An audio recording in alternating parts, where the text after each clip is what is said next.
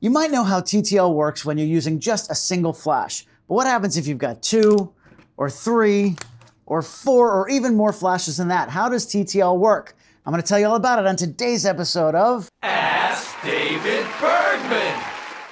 Hey there, everybody, welcome back. Here I am, as always, answering your photography questions right here on Adorama TV. If you've got a photo question, you know what to do. Just go to askdavidbergman.com and submit that form on the site. I just might pick your question to answer right here on a future show. A quick reminder that I'm currently on tour with Luke Combs and I'm still running my Shoot from the Pit live concert photography workshops. Every city is sold out for the rest of 2023, yay! So make sure you sign up for my free email list at shootfromthepit.com. That's where I'm going to be announcing all future workshops, and you'll have exclusive access to get tickets right before the general public does. So hope to see you out on the road sometime soon. All right, today's question was sent in by Amer D. When using multiple flashes in the same optical group, does ETTL fire them all at the same power? What if some of those flashes are larger or more powerful, while others are smaller like the Canon 600EX and the 430EX? The camera has no clue which way the flashes are pointed, so how does it know what to do? That's a great question, Amer. Thanks so much for sending that in. What I'm going to do is talk about TTL, first how it works with one flash, and then I'm going to get into multiples. Now, TTL is a very cool system used by modern cameras to automatically control the output of your flash. Early cameras didn't have any automatic modes for flash, so you would set the power manually to fire whatever amount of light you wanted, and that's what it fired every single time, regardless of the exposure you had set on your camera. Then some early automatic modes had a sensor built into the flash itself, and you could tell the unit how much light you wanted to get from that flash. When it fired, the light would hit your subject and bounce back into that sensor. When it determined that it had the amount of light that you specified, usually to get a specific aperture, then it would shut off the flash, ending that amount of light coming out. Now, as the camera processors got more advanced, they came up with the first TTL systems. TTL stands for through the lens because it reads the exposure based on what it's seeing, not back into the flash unit, but through the lens of the camera and into the sensor. In a lot of ways, this is way more accurate because modern cameras can analyze the scene even with multiple flashes and give you what it considers to be a proper flash exposure. Now, if you've been watching me for any length of time, you probably know that I'm not a huge fan of automatic modes. Your exposure is part of your photographic style, and there's not one correct exposure for any particular photo. But TTL flash can be very helpful in certain situations, especially when you're moving around quickly and the distance from your flash to your subject is changing rapidly. Regardless, some people also like to shoot portraits on TTL, so it's still important to understand how it works. Now, what most cameras do now, including the Canon eTTL system, is it fires a low power pre-flash. When you push the shutter button, it actually fires the flash twice. The first time is virtually imperceptible. It happens so fast and at a very low power setting right before the main flash fires. That pre-flash hits your subject and bounces back through the lens where it's read by the sensor and analyzed by the camera's processor. It determines how much light is needed to get a proper exposure. Now, by proper, I mean that it's trying to average out the scene and give you a photo that's not too bright and not too dark. Technically, it's measuring for 18% gray or middle gray so that you've got a good exposure that's not too over or underexposed. Now, this is relatively simple when you're just using one flash. Earlier today, I created a setup in my studio to demonstrate. I'm using my Canon EOS R5 body and the RF 24-70 f2.8 lens. All the flashes are Canon 600EX RTs, and I'm changing my settings and firing them from the ST-E3 RT transmitter on top of the camera. I'm photographing a mannequin head on a tripod, and the flashes are all on light stands to eliminate any variables from movement. My camera settings are 100 ISO, 200th of a second shutter speed at f2.8. That kills any ambient light in the room so that the only light we're seeing is from the flash. Now I put the first flash in a Westcott Octa M medium softbox using the Globe Bowens mount adapter. The flash is placed about 45 degrees up and 45 degrees to camera left, so I'll get a simple Rembrandt style lighting look on my subject, and I've got the Westcott grid on there to control the spill of the light from hitting too much of the background. Now when I take a picture using just that one flash on TTL with no other compensation settings, you can see what it does. In my opinion, this image is overexposed. Why? It's actually doing what I told it to do. It fired a pre-flash that I couldn't really see, and it determined what the best average exposure was for that image. It's looking at the entire frame, including that relatively dark background, but all I really care about is the exposure on the face. The camera can't possibly know that, so it's just averaging out the whole thing. Now, because I have the version 2 firmware on the ST-E3RT transmitter, it allows me to switch from TTL to manual, and it tells me the exact power it actually used on that last TTL frame that I shot, which can be really helpful. In this case, with the one flash, it shows half power. Now I could use flash exposure compensation to darken it, which basically tells the camera, shoot what you think is the correct TTL exposure, but then raise or lower the power the amount that I tell you. Now in this case, I might dial two stops down or so to get the face looking how I want. Now, one Canon specific note here, the R5 has a face priority mode for TTL metering, which is uh, what it will do is pay more attention to the exposure on a face if it detects one. When I switch it on, the TTL flash fires at 1 8th and a third power, which is almost two stops darker than the average setting of 1 half, and it looks much better in my opinion. In the real world, I'd have face priority on all the time. It's an awesome advanced setting that Canon offers so that the faces are exposed properly regardless of everything else in the frame. But I have that turned off for now and I'm just using average, which is what most camera systems will be using. That's kind of how they work. That's going to help us really see how the TTL works and what it's doing. So that's one flash, but today's question was about using multiple flashes. With a portrait, there are many times when you might want to add in two, three, or more flashes to make a more interesting photograph. Maybe you want a fill light on the other side of the face, or a separation hair light, or you want to light the background separately. Those uses are all very common. I've done portraits with seven, eight, nine lights in them, and I know people who've used a lot more in a single picture. So if you want to use TTL with multiple flashes, there are a couple of main ways to do it, and every camera brand implements them a little bit differently. I'm going to talk about Canon because I know that system the best, but there are similarities between all of them. When triggering multiple flashes, you have to put them into groups. The ST-E3RT gives me up to five groups, A, B, C, D, and E. The first scenario is if I want to add another flash in the same group. The best reason to do this is if you want more power from one light. Let's say I'm outdoors and I'm trying to overpower daylight with my flash. A small speed light, especially in a big softbox, might not give me enough light, even at full power to light up my subject when I'm outdoors. There are brackets you can buy to put two, three, or four speed lights into a single softbox or a photo umbrella. Every time you double the flash power, you get one extra stop of light. So going from one to two flashes with both at the same power gives you an extra stop. Then going to four flashes gives you two extra stops and so on. So if you've now got multiple flashes inside a single softbox, you really want it to act like one powerful light. You don't necessarily want to control those two lights separately because they're in the same modifier.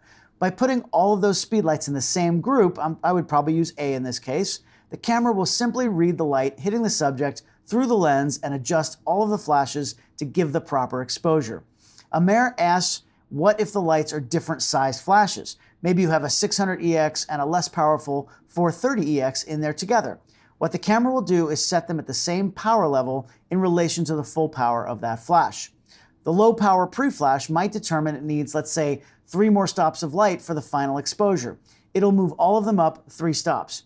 It doesn't really care that they're different models. Um, they're, they're, they're both the same power, and together, the light combines to give what it thinks is the proper exposure.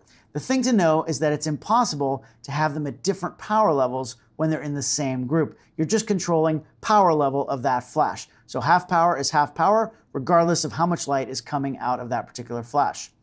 Now, if you had two flashes in the same group, but you separated them and didn't have them in a single light modifier, what happens then? Well, it really works the same way. As Amer said, the camera doesn't know which way those lights are pointed. It's simply looking at the light in the scene and adjusting the overall flash exposure combined from both flashes at the same power setting to give a good average exposure. In my setup here, I added a second flash with no modifier as a separation light on the opposite side from my key light. I put both flashes in group A and on TTL. The picture is still overexposed for the same reasons I said before. Remember, it's just averaging out the scene. When switched to manual to see what setting the camera chose, this was 1 8 and 2 thirds power. That means both speedlights were at that setting and combined, the camera thinks it's getting a good exposure overall. When I turn each light on individually and set it manually at 1 8 and 2 thirds, you can see what the first flash looks like and then the second flash. Combined in TTL, they light up the entire scene. Now, personally, I wouldn't shoot this way. If I darken this image by using flash exposure compensation, I can only darken both flashes together because they're in the same group. I can't separate them. The only time I want to have multiple flashes controlled together is if, like I said earlier, they're in the same modifier, creating basically one light. Or I might have them separated to light a background and they're on the exact opposite sides from each other, both the same distance from a flat background that I want to just light evenly. That's going to allow me to raise and lower that overall brightness by changing both lights together. I'm never really going to want to you know, switch those up and, and control them separately. Because I'm using these two flashes for different purposes, one is my key light and one is a hair light separation, um, it's rare that I'm going to want to raise or lower their power settings the exact same amount. So this is when I'm going to put them in different groups. Now there are two main ways to control groups, either as ratios or individually. Let's start with ratios. In general, ratios allow you to simply tell the camera to have one group be X times the brightness of another group. Your main group is always A and the second one is B. So in this case, I'll set my key light to group A. You do that on the flash itself, by the way. And the separation light I'm going to assign to group B. Now, once I turn on ratios with the Canon system, the first number is always A and the second number is B. So one to one means that both you want both lights to put out the same amount of power. You wouldn't need to use ratios if you want that realistically. You just put them in the same group if you want them to put out the same amount of power. But if you want different power levels, you can set it at 2 to 1, for example. That means you want twice as much power coming out of the A group than the B group. Remember, doubling or halving the power is one stop of light is one stop of light difference. So 2 to 1 gives you one stop more light in the A versus B group. 4 to 1 means group A has four times the power or two stops more light than group B. And 8 to 1 means eight times the power or three stops. Conversely, you can set it at 1 to 2, and that's going to give group B twice the power than A. 1 to 4 is 4 times the power, and 8 to 1 is 8 times. Now, here's how the ratio looks at 1 to 1. As expected, that's the same as when I had both flashes in group A on TTL. Here's how it looks at 2 to 1. So the side light isn't as bright in relation to the key light. And here's 8 to 1, which brings that side light down even more. Now keep in mind that these are not absolute numbers. They're relative to each other. And we're still in an automatic mode. So 8 to 1 doesn't mean the key light just gets three stops brighter. You can see that the overall brightness in all three photos is roughly the same because the TTL system in the camera is still evaluating the overall scene so it's not over or underexposed. I think TTL is always going to be overexposed in this particular scene because of the dark background, but the camera has been pretty consistent in what it thinks is right. Now, Amer asked about using flashes that have different amount of power, like the 600EX and the 430EX. Now, I don't own the 430, so what I did to simulate a less powerful flash is I put a couple of neutral density filters over my key light. NDs block some light, effectively lowering the output without changing the color of the light. And when I did that, I raised up my ISO because the flash wouldn't have had enough power to get a full exposure. But at 8 to 1, you can see that even with a less powerful flash, the image looks exactly the same as 8 to 1 without the ND filters. The camera doesn't care what flash is firing. It's only reading the light that's hitting my subject and bouncing back into the camera through the lens. So that's how ratios work, but there is one other way to control multiple flashes. You can go to another mode where you can have any flashes in any group from A to E and then control them individually. Each one of those groups can be set to TTL or manual. Now, in TTL, you can even use flash exposure compensation on each group individually if you want.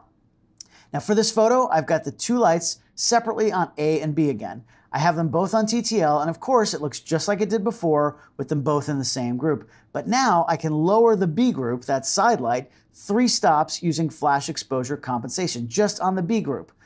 I'm thinking this works by actually firing a separate pre-flash for each group. So my key light looks exactly the same, but the side light has been lowered three stops.